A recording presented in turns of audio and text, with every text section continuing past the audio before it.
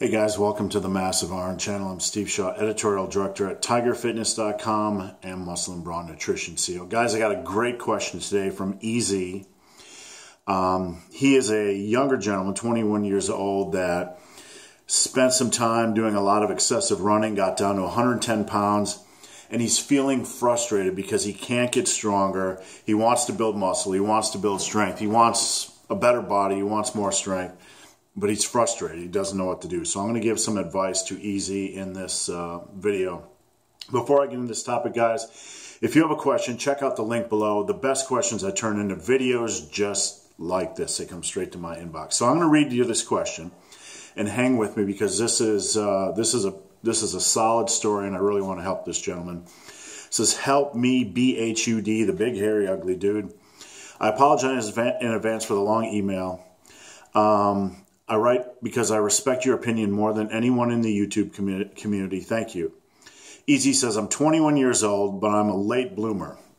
My voice didn't drop until senior of high school. Uh, I was once 5'5", 175, fat kid. Um, still competed athletically, etc. He says, I became extremely underweight two years ago from excessive running and poor nutrition.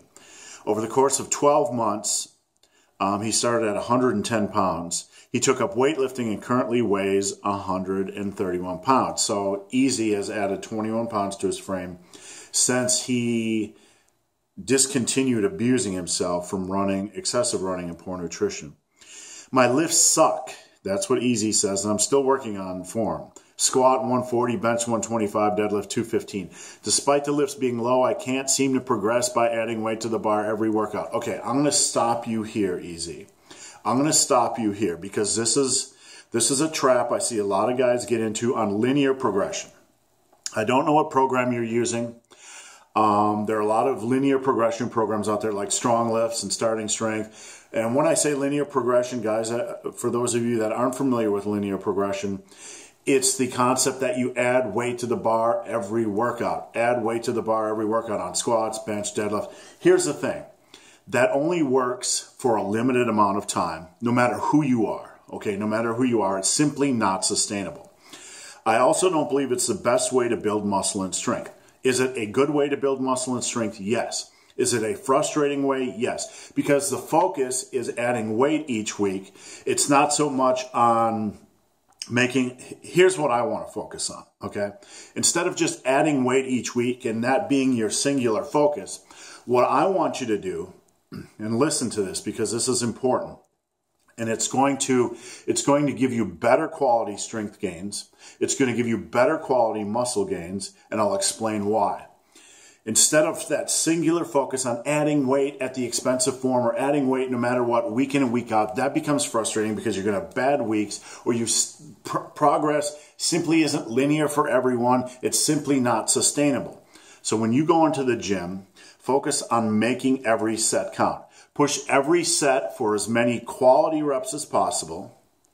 As many, as many quality reps as possible. Stop the set when you feel like you might fail on the next rep or if you feel like your form's going to break down. You only want to perform quality reps with good form.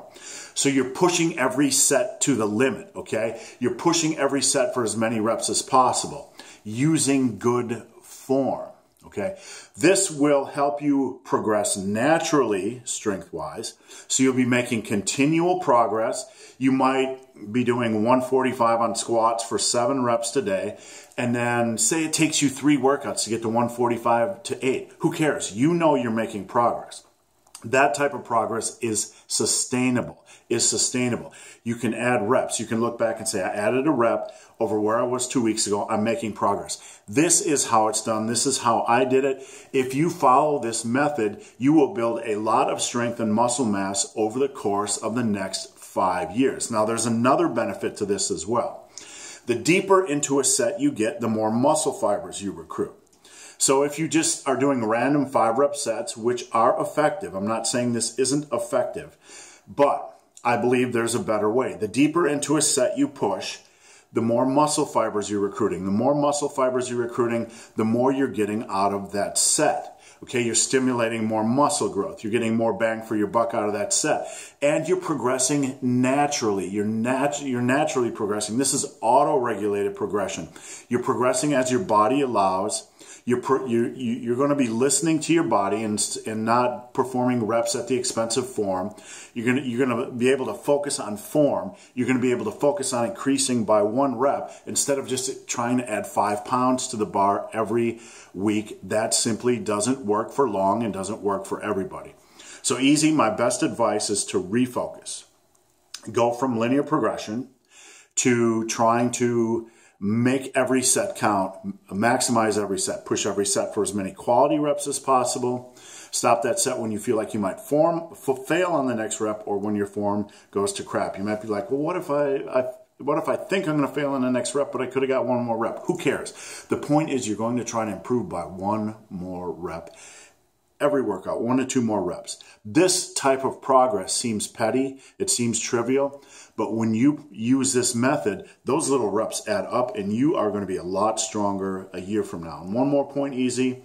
You need to make sure your diet is on point. You can't guess about diet because you are underweight. You need to make sure you're getting in 180 to 200 grams of protein a day because you're underweight right now. And you need to make sure your calories are on point so you're gaining about two pounds, about two pounds a month. That's a healthy, sustainable rate for you. And I would run that rate of weight gain until you get up to about 160 and reassess. So guys, hope this video has been of some help. If you have any questions or comments, again, check out the link below. If you've made it this far in this video and have yet to subscribe to my channel, please do. I'd appreciate the support. So guys, as always, thanks for watching. Have a great day.